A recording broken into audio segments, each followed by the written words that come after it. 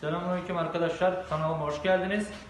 Aracımız 2018 model 1.5 Kangoo yani Kangoo 3. Ee, Bu araç bize referans yoluyla geldi. Yani bir tane müşterimiz bizi tavsiye etmiş.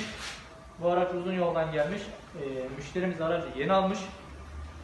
Memleketine gitmiş. Memleketinde araç çekişten düşmeye başlıyor. Ee, Araba çok yakmaya başlıyor. Sonra da Orada bir tane tamirciye gösteriyor. Ben diyor yeni İstanbul'a gideceğim diyor. Buna bir bakar mısınız diyor. Tamirci de diyor ki aracınızda bir sıkıntı yok diyor.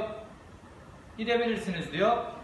Neyse müşterimiz yoldan gelmiş ama zor araba buraya indi. Biz de baktık arabanın debriyajı bitmiş.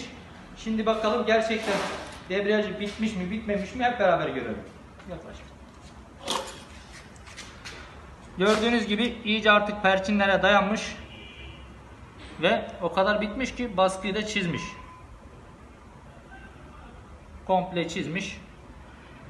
Biz bunun e, debriyaj bilyesini de değiştirdik orijinaliyle. Baskı balatasını da değiştirdik orijinaliyle. E, şimdi şöyle söyleyeyim. Buradan da tamirciye de seslenmek istiyorum. Buna nasıl baktınız, nasıl ettiniz ben anlamadım. Müşterilere de diyorum ki tamircilerinizi asla bırakmayın. İyi bir usta bulduğunuz zaman asla bırakmayın. Çünkü gerçekten yolda kalmak sıkıntı. Yolda kalmak kolay değil. Ki müşterimiz geceleyin yoldan gelmiş. Geceleyin yolda kaldığını düşünseniz artık ne olurdu bilemiyorum.